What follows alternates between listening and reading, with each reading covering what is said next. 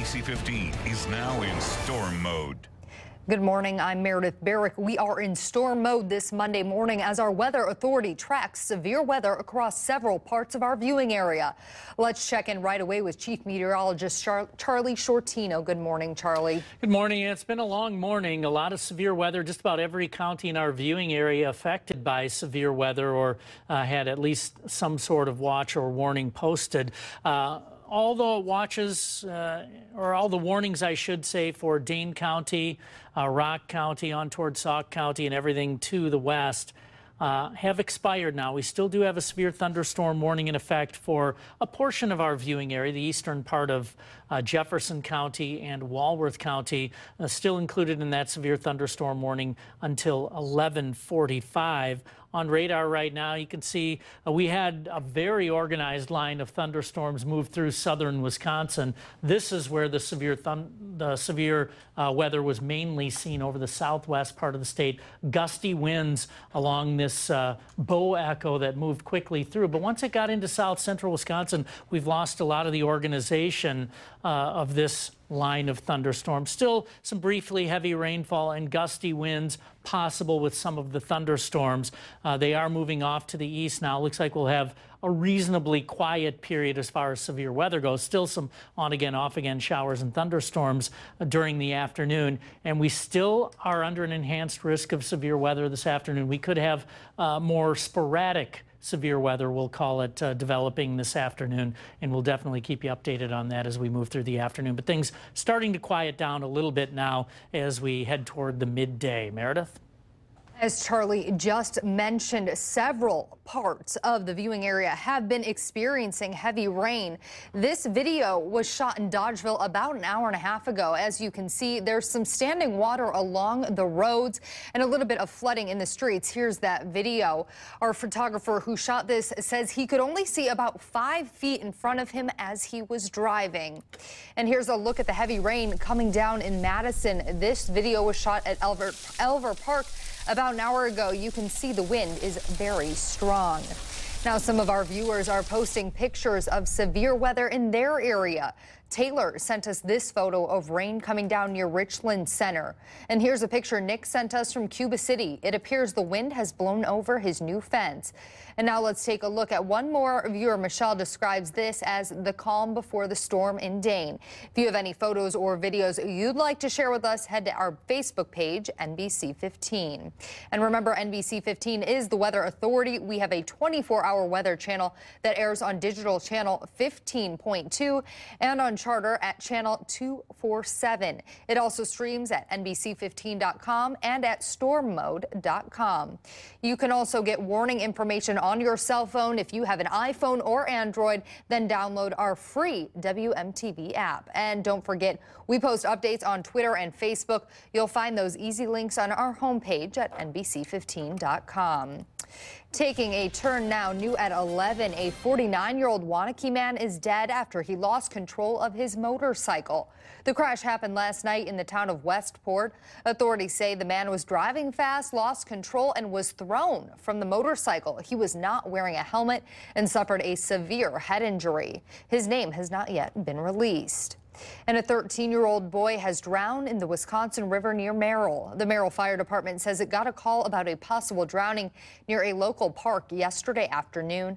The teen's body was recovered four hours later, about 15 feet from where he went under. Authorities say debris on the river's bottom and strong currents complicated the search. The boy had been swimming with his mother and two friends around the nation. An emotional scene in Charleston, South Carolina last night thousands marching across the city's main bridge for the nine victims of last week's church shooting. It came just hours after that church reopened its doors for the first time since the massacre. Here's NBC's Craig Melvin. From heartbreak to healing. Thousands took to the streets and highways of Charleston, walking in a massive unity chain Sunday night just hours after Mother Emanuel Church opened its doors for its first worship service since the tragedy. A lot of folk expected us to do something strange and to break out in a riot. Well, they just don't know us. Among the crowd, South Carolina's governor, one of its senators, and the longtime mayor of Charleston. It broke our hearts in Charleston, but it's broken hearts in America. Some who lost family members in the attack, like Alana Simmons, just had to be there. My grandfather loved Charleston, and to see what an example they have been to the nation, his his heart would just be so full. Across the city, bells tolled at many of Charleston's other historic churches for nine minutes, one for each victim, including the church where the alleged shooter's family worshiped. We're in solidarity with the nine families who lost loved ones, and we stand in amazement at the gift of forgiveness that they've already expressed in such an open way. Meanwhile, over the weekend, more disturbing images surfaced of 21 year old Dylann Roof posing with guns, Confederate flags, and at many sites dedicated to the history of the Confederacy. There's also a 2,500 word manifesto that perhaps lays out his motive for mass murder.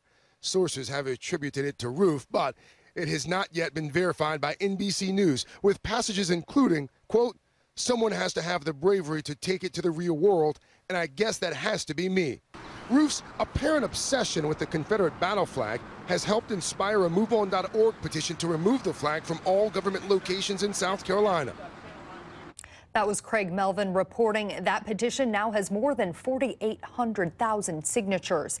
It calls the Confederate flag not a symbol of Southern pride, but rather a symbol of rebellion and racism and labels Roof a quote racist terrorist. In other national news this morning, witnesses in the New York town of Owls Head say they've seen a surge of police activity connected to the search for two fugitives who escaped from a prison earlier this month.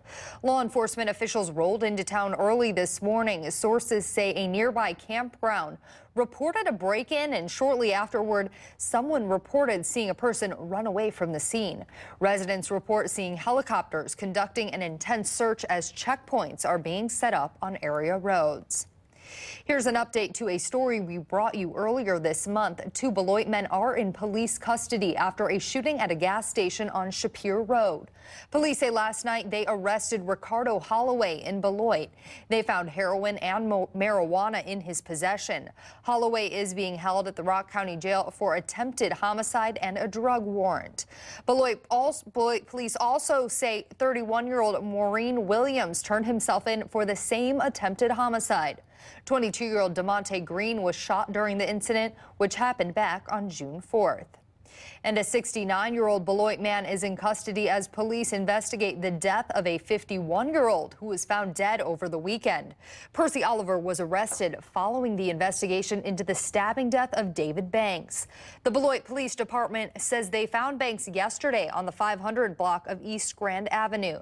The department says additional charges could come depending on results of evidence analysis. They say Oliver has an extensive arrest record with the FBI and is a convicted felon. They believe the two men knew each other. Middleton police are asking for your help in identifying persons of interest in a burglary. Take a look at your screen. Yesterday morning, two men broke into an unlocked home. The homeowners woke up and confronted the suspects, who then ran away.